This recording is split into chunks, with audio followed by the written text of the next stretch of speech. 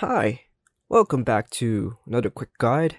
Today I'll teach you how to adjust left and right volume in Android. And it's literally an easy process, so make sure to watch until the end of the video to know how it's done. So to adjust the left and right volume balance on Android device, you can follow these steps. Step 1, tap on the settings app on your Android device. It usually looks like a gate icon.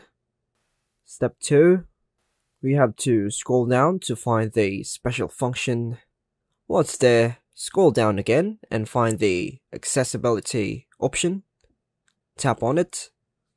Now within the accessibility menu, you might find a section called audio and on the screen text, so tap on that. Step 3, within the accessibility menu, you might find a section called audio and on the screen text, so tap on that.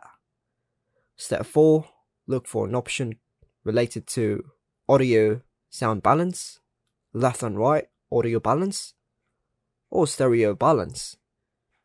The wording might be vary based on your Android version and device manufacturer. Step 5, in this section you'll see a slider or some other interface that allows you to adjust the balance between left and right audio channels. So slide it left or right according to your preference. Moving the slider to the left increases the volume in the left side, on the left channel, and moving it to the right increases the volume in the right channel. You can also use the search bar to search for audio or sound balance. Step 6, we have to save the changes. Once you've adjusted the balance to your liking, save or apply the changes. It might be it might be an on the screen button like apply, OK, or save.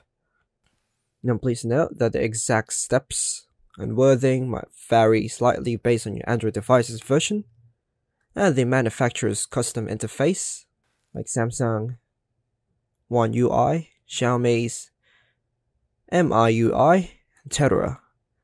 If you can't find these settings in the accessibility menu, you can also check the sound or audio settings on your device for similar options. And that's all for now folks. Hope you like and subscribe. Thank you.